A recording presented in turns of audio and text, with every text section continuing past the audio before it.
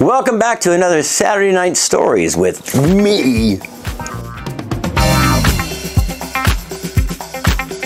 All right, um, New Year's Eve is is, uh, is a night that most com well back in the day actually that was the one of the nights everybody went to work because they pay you double or triple, and now as an old fuck I don't like working New Year's Eve so.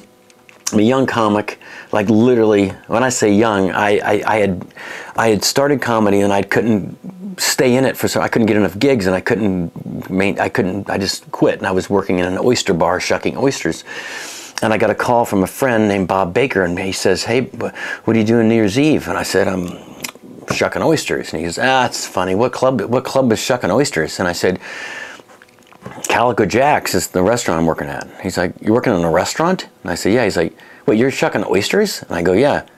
You're fucking carrot top. I said, yeah, I know. I mean, I, I, I just, yeah. And he's like, are you being serious? Are you kidding? I said, no, I'm shucking oysters. And he said, that's ridiculous. You have to take this gig. You're carrot top. And I said, I haven't worked Bob in over a year. I don't even know what I'm doing, especially to do it on New Year's Eve. How horrible would that be? So somehow he talked me into it, and I took the gig. It was in Fort Myers. It was called the Dr. Al's Comedy Club. It's funny already. A dentist owned it. Dr. Al, who's hilarious, not um, books me, and of all people, my mom says, "Where, where, where are you performing at?" Because uh, I told her, and I said Fort Myers, and she goes, "Me and my, and my girlfriend are going to come up and watch." I'm like, "Oh, please don't! I haven't done comedy in over a year. Now I'm going to eat shit in front of my mom and her friend, and not to mention the whole club of people that are there to see a, a real comedy show." So I go up and I'm not even making this up. I'm like five minutes into the sh- the show or whatever it was back then. It was I, I, thought it was a show. I had all these. I had like you know 30 props and three were funny. So I start out with you know like one unfunny one just to get warmed up, and then I go to do like maybe a funny one to keep them attention.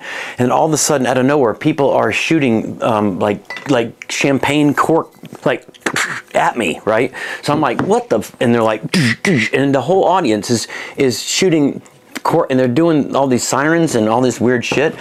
And I'm, I look over at the, the, the owner, like, what do I do? And he's like, you're good. Put on some music and just, let's get drunk.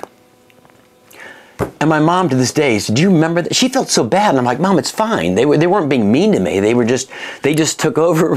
They they liked what I was doing. They just wanted to they just wanted to have fun. So I, I, I just remember improvising. I remember when they were shooting corks, I couldn't realize at first what was coming at me.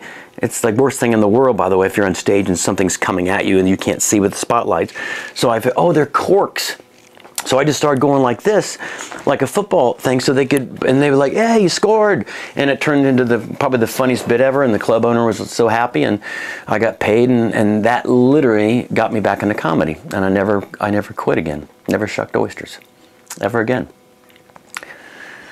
Not that that's not going to happen soon. I could be shucking oysters in the near future. We just don't know. God, I hope not.